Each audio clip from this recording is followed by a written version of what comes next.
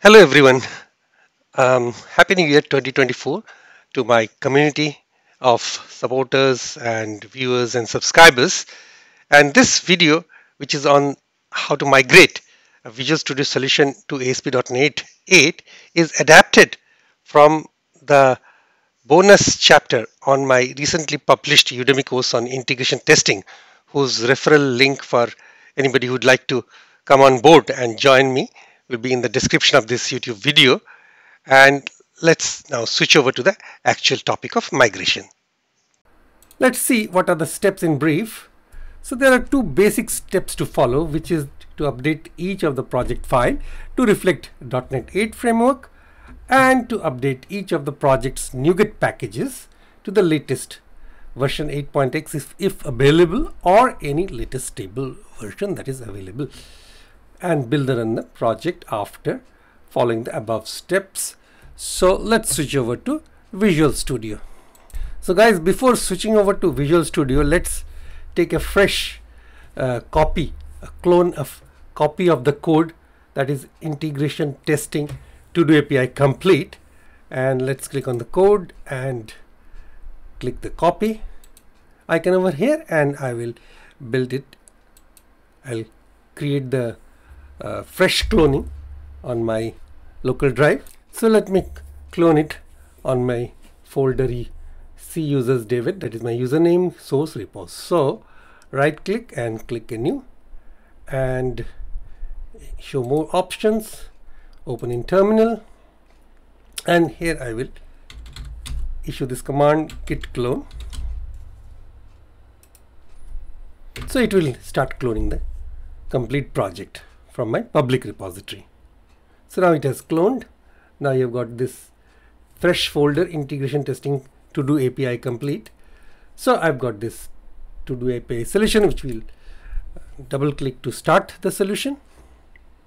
So after a while it is still loading to do API loading project one of three. So when it loads all the three projects we'll come back again revisit so you can see that all of my 3 out of 3 projects are loaded. And let's double click on the to do API solution .NET 7.0 or NET 7.0 which I will change now to 8.0 and save it. Similarly for to do API unit test project it was net 7.0 I converted it into net 8.0 and the finally the last project on API data layer testing. So net 8.0 and click on all the files. Now next step is to go to each of the project, right click and uh, get to the manage NuGet packages. And these are the installed ones. So let's uh, click on the update button for everyone. So this is you can see microsoft.aspnet core.openapi latest version 8 is available so I will uh, update. I click on the update button click on apply accept the conditions. Similarly for all other NuGet packages where the version 8 is available uh, click on this button it will click on apply accept and it will install the latest version.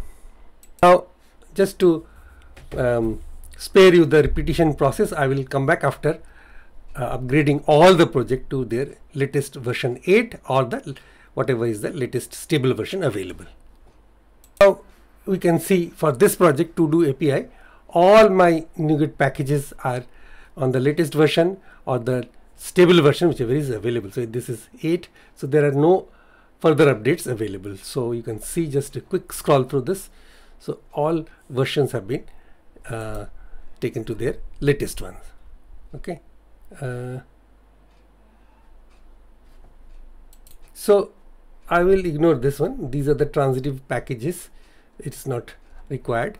And if you take a quick look uh, uh, if you take a quick look at the project file which is um, this one you'll see that these are all updated the required packages which were already there I have updated to either the version 8 or to the latest available version right so similarly I will do it for both of the other projects and I will come back show you the result. So let's right click here and manage NuGet packages. These are the installed ones it will come up with. So again wherever there is a possibility of update it's all uh, written where you can just update by clicking um, on this icon blue up arrow icon.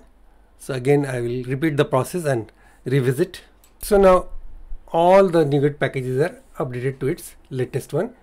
These four are the updated packages. So if you click on this uh, unit tests project file this is all uh, already updated similarly we'll do it for data layer testing project. Right click and manage NuGet packages.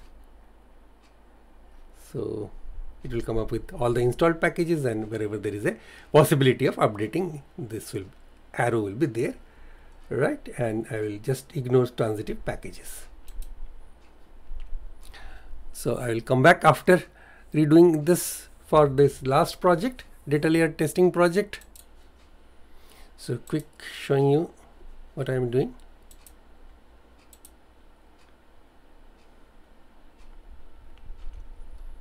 So again apply. It will apply the updates and create the updated package. So the last one is xunit.runner.visual studio. So I'll click on this arrow blue arrow and click on apply now all my NuGet package references are updated for this project also. To do API data layer testing. Now all I need to do is to again say whatever it is and let's rebuild this project. Build clean solution first. And then a quick build. Build the solution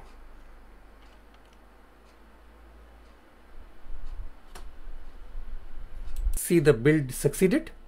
All right so let's run this project. It's all ready after migration is over. Because if you now see the everything has changed. The .NET framework is changed to 8.0 again it is changed to 8.0 for the other project and for the third project as well. It's all changed so let us click on this green arrow and run the project. You can see that the swagger has come. For the to do items get post put get with ID and now if you click on so that's all. I don't need to again show you by running the tests. So it's actually representative of the fact that it has been successfully able to convert to the .NET 8 framework and it is running. All right? However if you are happy to run the test just to check everything is working fine on this framework so you can run this check uh, run this test. Now all have passed you know and there is no failure. So that's all we required at this project. Thank you very much